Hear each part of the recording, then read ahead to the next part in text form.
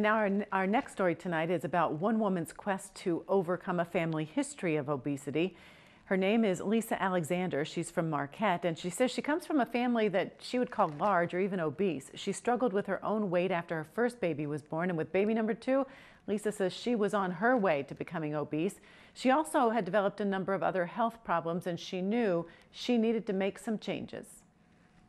I thought it was so complicated to lose the weight and not to take away the fact that, you know, it can be very, very overwhelming. I think there are some simple steps that people can put into place to ensure that they're living a more healthy lifestyle.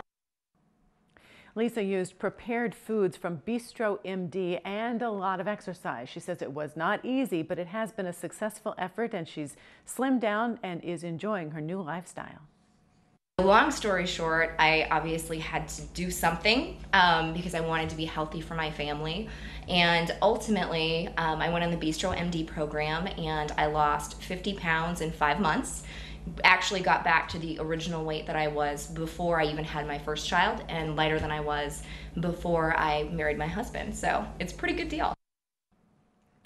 Lisa says diet and exercise were only part of the equation and being healthy was important as well. But she says another driving factor was that she really needed to set a good example of a healthy lifestyle for her two children.